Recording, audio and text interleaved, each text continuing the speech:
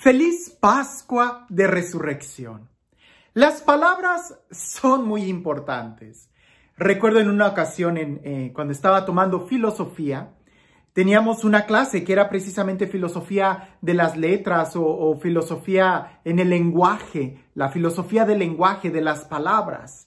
Las palabras como signos que representan y nos llevan a una realidad más profunda pero bueno, el caso es de que estábamos en esa clase y de la nada la profesora, era una extraordinaria profesora, nos hizo esta pregunta, que tratáramos de pensar por lo menos en tres inventos de la humanidad que han cambiado drásticamente el curso de la historia.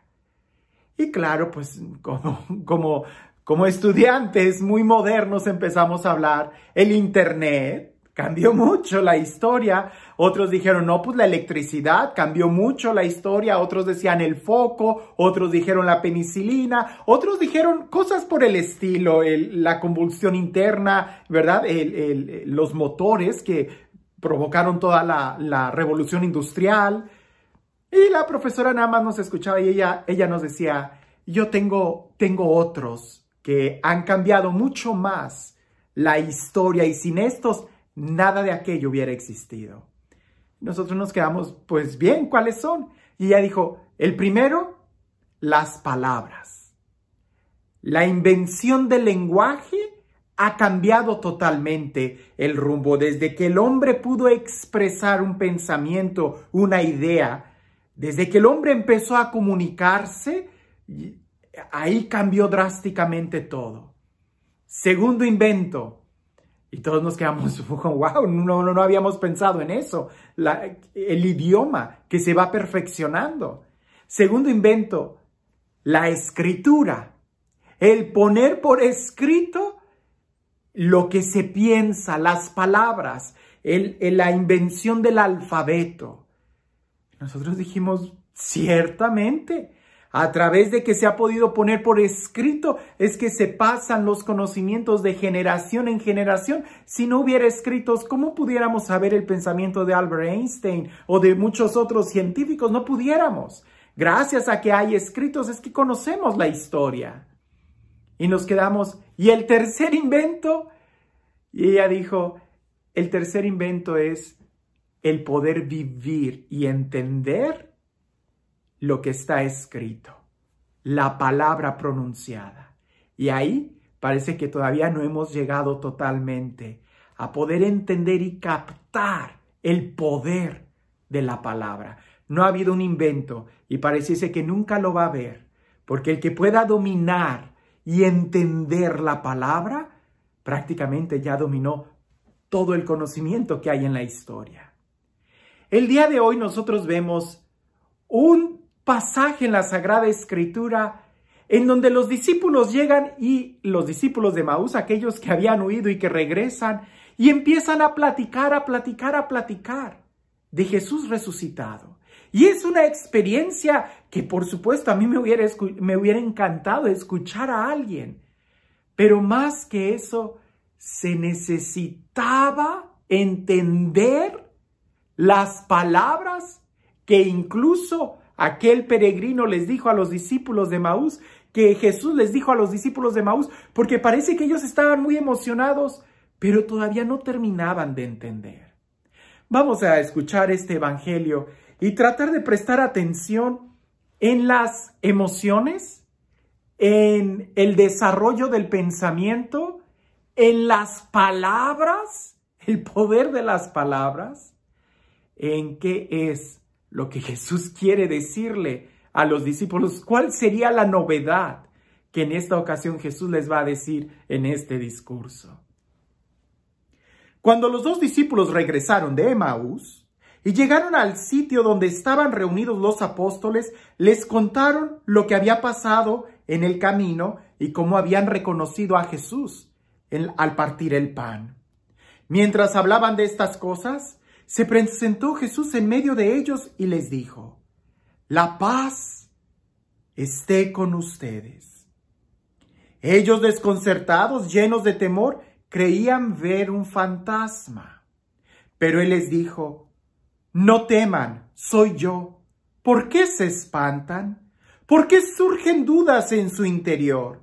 Miren mis manos y mis pies, soy yo en persona, tóquenme y convénzcanse. Un fantasma no tiene carne ni huesos, como ven que tengo yo. Y les mostró las manos y los pies. Pero como ellos no acababan de creer de pura alegría y seguían atónitos, les dijo, ¿tienen aquí algo de comer? Le ofrecieron un trozo de pescado asado, él lo tomó y se puso a comer delante de ellos.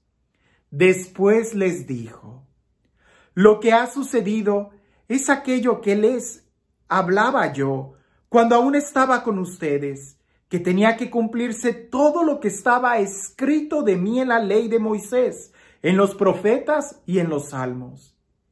Entonces les abrió el entendimiento para que comprendieran las escrituras y les dijo, está escrito que el Mesías tenía que padecer y había de resucitar de entre los muertos al tercer día y que su nombre se habría de predicar a todas las naciones, comenzando por Jerusalén, la necesidad de volverse a Dios para el perdón de los pecados, para el perdón de los pecados. Ustedes son testigos de esto. Jesús ya les había hablado de que Él iba a morir y resucitar. Los discípulos de Maús estaban hablando mucho entre ellos de tristeza. Aquel peregrino Jesús que los emparejó logró cambiar el pensamiento, logró cambiar las palabras. Eso es fundamental, cambiar las palabras. Ya no quejarse, ya no llorar, ya no lamentarse, ya no decir solamente la mala noticia. Jesús les logró cambiar las palabras a través de un encuentro muy profundo, lo vimos ayer. A tal grado que ahora estos regresan a Jerusalén y empiezan, empiezan a hablar buenas noticias, pero palabras, palabras. La actitud que todavía tenían dejaba mucho que ver. Una cosa era lo que decían, pero todavía tenían miedo, todavía estaban a puerta cerrada. ¿Es que no habían escuchado lo que Jesús les dijo? Es que, es que cuántas veces no estamos así. Tenemos una fe en un Dios vivo, pero todavía puerta cerrada. Nos alegramos, pero tenemos miedo. Nos alegramos en la iglesia y cantamos, aleluya, Él resucitó, pero tenemos miedo cuando se trata de salir afuera. Mejor aquí a puerta cerrada sí cantemos y hablemos muy bonito. Pero no, no hemos entendido muy bien la palabra. Jesús se apareció en medio de ellos y cuando se apareció hasta tuvieron miedo. Jesús les dice, no tengan miedo, no tengan miedo. La paz esté con ustedes. Número uno, Él es real. Y les dice, mírenme, tóquenme. Y aquellos todavía no lo creen. Denme algo de comer, soy real. Algo que es real es algo que existe, que, que es palpable. No hay nada más real que la presencia de Dios entre nosotros. Porque absolutamente todo lo que ves hoy es, pero mañana deja de existir. En cambio, la palabra de Dios, Dios mismo permanece inmutable, firme. En una experiencia de oración, tú te das cuenta que, que Dios no cambia, es la seguridad.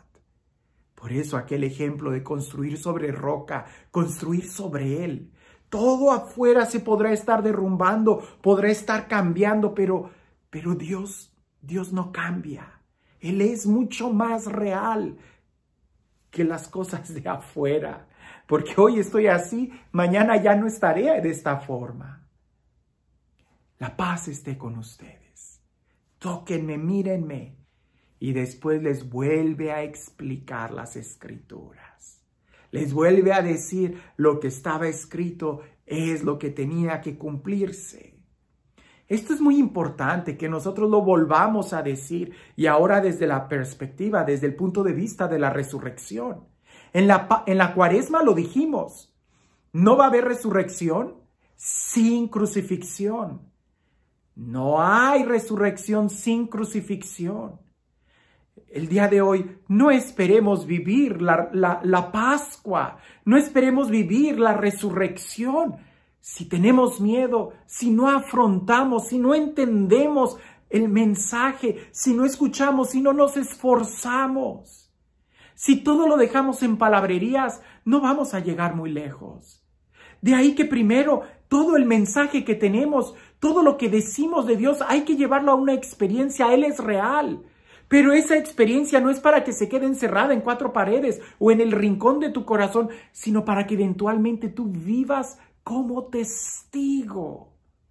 Y el testigo, escúchame bien, ya en otros momentos hemos hablado de esto. Una cosa es ser reportero y otra cosa es ser testigo. El reportero es el que habla, es el que da la noticia, es el que dice qué fue lo que sucedió, pero el testigo es el que lo vivió. Y a veces el que da testimonio lo da a veces sin palabras. O, déjame lo digo de esta forma. El que da testimonio a veces y muy raramente utiliza las palabras. Porque el que vivió, lo vive. Hay acontecimientos que impactan tu vida. La resurrección de Lázaro. Lázaro no tenía que predicar que, Jesús lo sanó. La gente se convertía solamente con verlo, solamente con verlo. La gente que nos narran de, en Hechos de los Apóstoles, todos esos milagros, los, los, que fueron sanados no tenían que decir, Jesús me sanó. Al contrario, la gente se acercaba y les decía, ¿quién te sanó? Ellos decían, Jesús.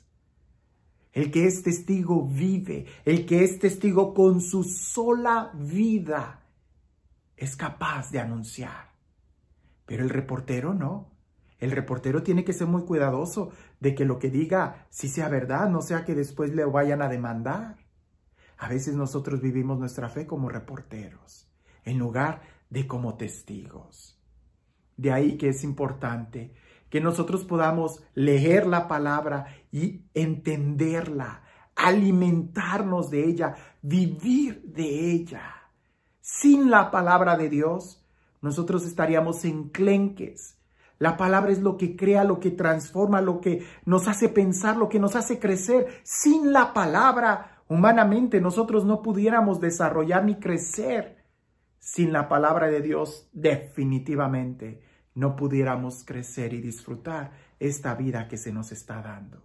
Jesús hoy nos vuelve a decir, sin crucifixión no hay resurrección. Si tú no te esfuerzas en tu vida, si tú no eres capaz de dar hasta la última gota de tu sangre, no esperes conseguir aquello que estás buscando. Así de sencillo.